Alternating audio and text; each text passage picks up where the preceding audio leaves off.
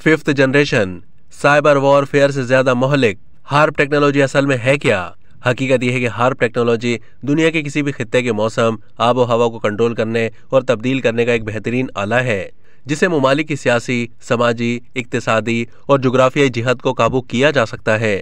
लिहाजा ये बड़े पैमाने पर तबाही का ज़्यादा ताकतवर हथियार यानी डब्ल्यूएमडी हो सकता है। ये फिफ्थ जनरेशन और साइबर वॉरफेयर से ज़्यादा मोहलिक है और इस वाक़े की गैर जानबदार तहकीकती एजेंसियों के ज़रिए मुकम्मल तहकीकत की जानी चाहिए। और अगर ऐसा साबित होता है तो हर सतह पर इसकी मजम्मत की जानी चाहिए और मुस्तबिल में उनको रोका जाना चाहिए।